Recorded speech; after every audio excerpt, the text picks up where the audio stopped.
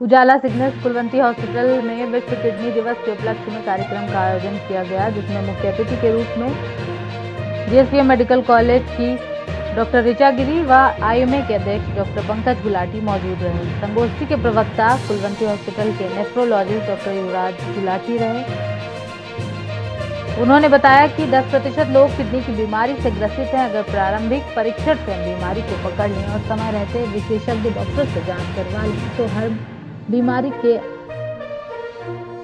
अंतिम डायलिसिस व ट्रांसप्लांट की ज़रूरत पर पहुँचने से बच सकते हैं।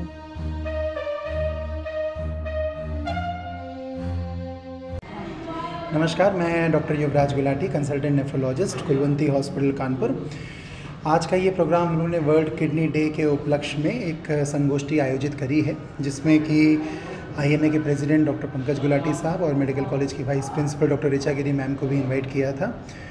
इस साल की वर्ल्ड किडनी डे की थीम है kidney health for all preparing for the unexpected and supporting the vulnerable मतलब कोविड के टाइम में जो हमने देखा कि किडनी के मरीज़ों को अच्छी खासी परेशानी हुई है तो एक ऐसा हम लोग सिस्टम डेवलप कर सकें कि ऐसे एडवर्सिटीज़ के लिए हम पहले से ही प्रिपेयर कर सकें और जो लोग एट रिस्क हैं, जैसे कि डायबिटिक हाइपरटेंसिव जिनकी उम्र ज़्यादा है या जिनके परिवार में किडनी की बीमारी है, उनको हम पहले से ही पकड़ के किडनी के बीमारी के बारे में जागरूक कर सकें और अगर उनका किडनी की दिक्कत है तो समय रहते उनको हम लोग इंटरवीन करें और उनकी यूरिन की जाँच और क्रिएटिन की जाँच करें ताकि जितना जल्दी हम उनकी बीमारी को पकड़ेंगे और उनको डायलिसिस और ट्रांसप्लांट तक पहुँचने से हम बचा सकते हैं।